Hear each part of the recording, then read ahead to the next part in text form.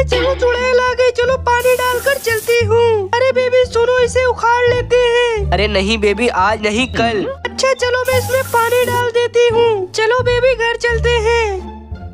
अरे मेरा पेड़ तो बड़ा हो गया या। अरे चुड़ैल ये देख तेरा पेड़ तो अभी छोटा है और मेरा पेड़ तो बड़ा हो गया। अरे बेबी ये देखो मेरा पेड़ छोटा क्यों है? अरे बेबी तुम समझो मैं तो अपनी दूसरी गर्लफ्रेंड के पास जा रहा हूँ। अरे बेबी चलो मिलकर इस पेड़ को उखाड़ते हैं। अंदर से एकदम छोटा है। बहुत मज़ा आया। अब चलो मैं अपना फल उखाड़ती हूँ। अरे बाप रे बाप, ये कितना भारी है। अरे, ये तो सच में बहुत